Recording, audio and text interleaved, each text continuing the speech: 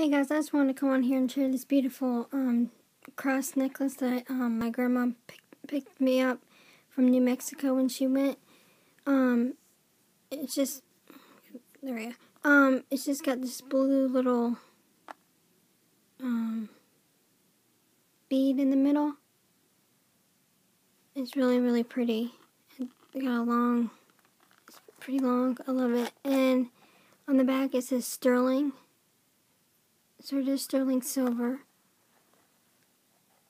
I, I thought that was very neat because I won't ever, I won't ever be, be able to go to New Mexico.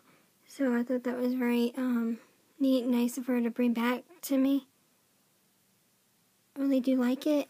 And then also she brought back, oh, wasn't it showing up? Oh, there we go. Um, brought back these um, conditioning and um, the shampoo from the hotel. These smell really, really, really good. Um, I have like four of them, but I'm not going to use them just because I won't be able to go there to replace them, and they just smell out of the package. You can smell it.